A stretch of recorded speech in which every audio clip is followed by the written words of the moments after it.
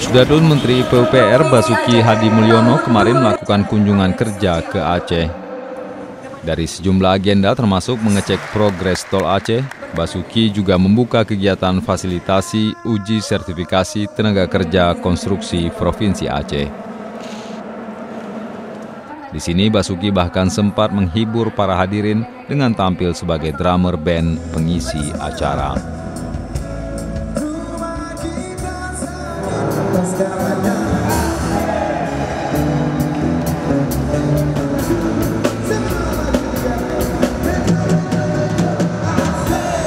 Pada kesempatan yang sama, Basuki dan PLT Gubernur Aceh serta Wali Kota Banda Aceh juga berkesempatan melihat langsung proyek revitalisasi kawasan Darui yang baru selesai dikerjakan lewat program Kota Tanpa Kumuh.